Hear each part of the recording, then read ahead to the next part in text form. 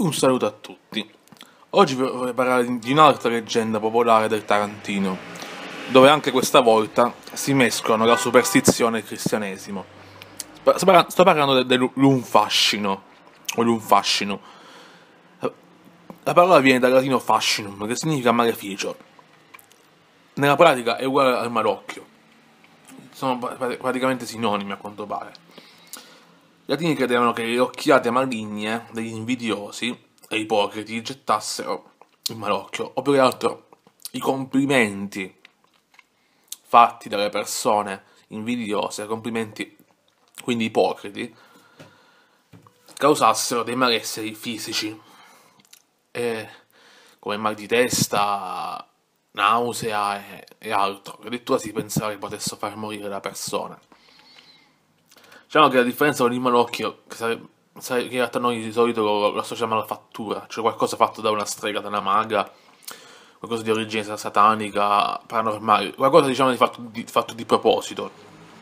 E mi viene in mente quella roba lì tipo Vanna Marchi, quelli che vengono smascherati dalla striscia delle notizie, dalle iene, que- quelle magre delle, delle tv private, che vengono, venivano una volta prese in giro dalla Jalapas Band o su internet al giorno d'oggi, tipo Anna Maria Galanti per esempio.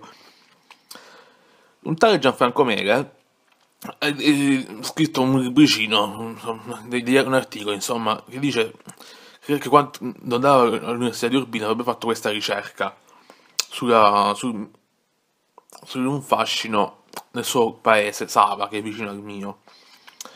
Lui è convinto però che questo deriva dal culto di Demetra e di Persefone, detta Core. Core vuol dire ragazza in greco, però era il soprannome che Demetra aveva dato a sua figlia. Poiché, diciamo, Taranto era una città della Magna Grecia, e poi, diciamo, Demetra e, per- e Persefone sono diventate eh, Cerre e Proserpina, Proserpina, Proserpina, scusate.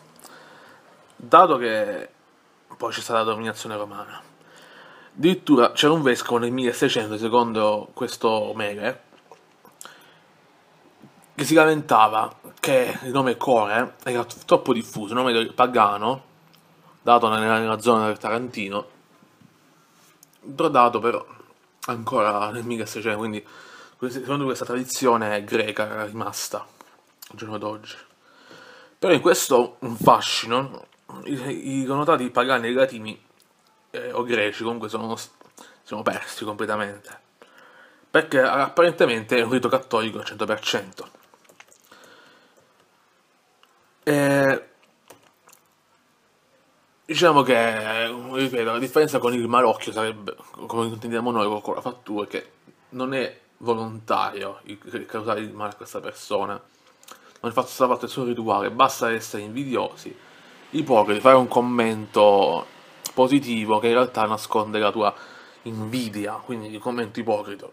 Non c'è quasi mai nessuna, nessuna intenzione di fare del male alla persona.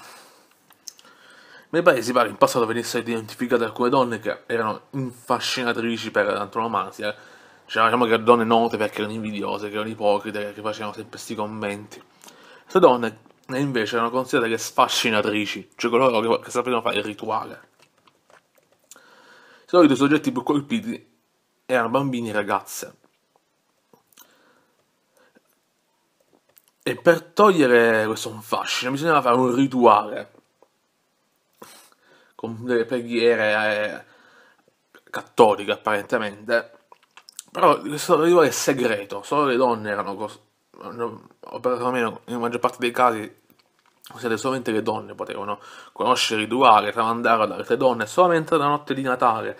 Quindi addirittura un fascinato non doveva sapere assolutamente nulla, perché non era una persona che essa stessa sapeva il rituale, questo sarebbe un altro discorso. E quindi addirittura non si può nemmeno scrivere il rituale, quindi parlarne su internet, eh, scrivere dei libri, si, assolutamente no. Il rituale deve essere orale, perché altrimenti il segreto si può svelare. Anche perché voglio dire, se scrivi qualcosa, la gente un tempo non sapeva né leggere né scrivere. E poi degli uomini, non, nemmeno, non so della carta, non ci si poteva fidare. il rituale doveva essere questo. No, ovviamente lo devo cercare su internet su un sito di grottaglie, non sul sito del mio paese, perché se chiede una donna del mio paese dice no, assolutamente non te lo posso dire. Quindi ringrazio la persona gentilissima che il sito grottaglie in rete ha scritto questo rituale. In breve, vi faccio diciamo una sintesi. Allora, bisognava, fare, bisognava fare il segno della croce per tre volte. Da notare la ripetizione del numero 3. Tre volte il gloria al Padre, oppure tre volte il credo, oppure tre volte l'Ave Maria, oppure una volta il Gloria, una volta il Credo, una volta l'Ave Maria. Poi bisogna recitare in assolutissimo silenzio, per evitare che si sentisse, soprattutto da, da, da un fascinato, la seguente preghiera. Santo Filippo Santo Andrea, Santo Cosimo e Damiano, a che Cristo piga via. Ti dove ne Rosaria? Sovvegno di un malato, tutto chino e infascinato, e non mi dici che Gesù Cristo è nato, è nato senza peccato? Fanci passare un fascino come arte capo. Tradurlo in italiano, per quello che non capisco il mio dialetto. San Filippo e Sant'Andrea, San Cosimo e Damiano, i quali trovarono Cristo per la via. Da dove vieni, Rosalia? Vengo da un malato, tutto piegato e infascinato. E non mi dici che Gesù Cristo è nato senza peccato?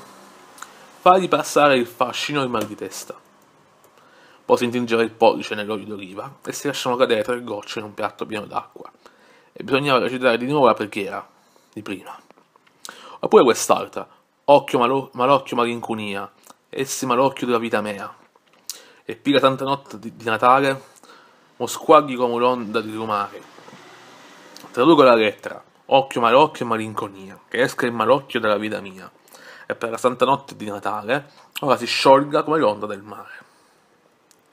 Se le gocce nell'acqua erano integre, allora l'un fascino o non c'era proprio stato o era stato allontanato.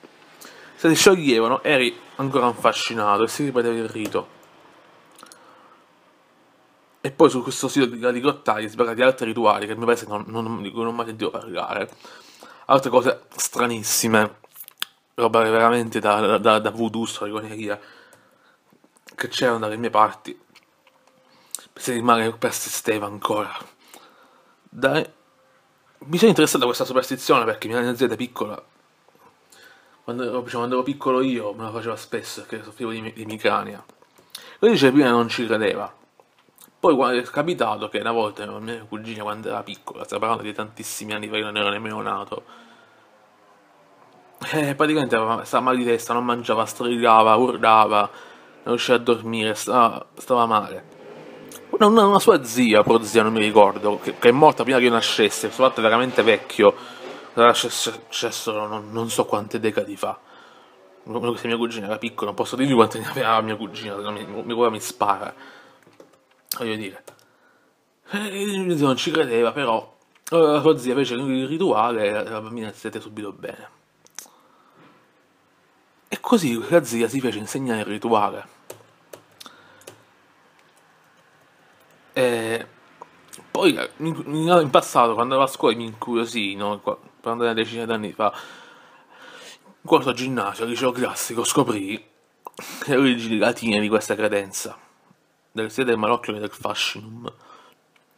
E qui si capisce come praticamente noi abbiamo ancora un retaggio greco e pagano, soprattutto nel sud Italia, questo per coloro che pensano che la cultura classica non serve a nulla.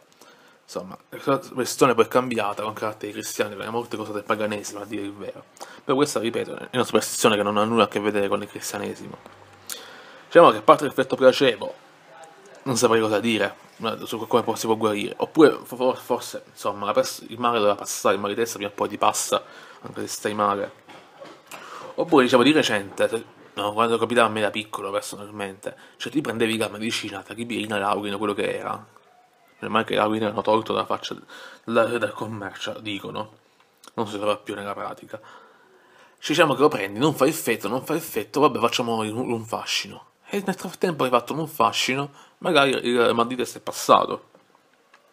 E quindi tu pensi che la medicina non ha fatto effetto, un fascino sì. E eh, insomma, questa è una cosa molto interessante. Anzi, è più interessante di, di quanto pensassi, perché mentre facevo questo video ho scoperto l'ipotesi secondo cui le origini sarebbero addirittura greche, della Magna Grecia, di questo rituale. E spero vi sia interessato, spero vi sia piaciuto, alla prossima.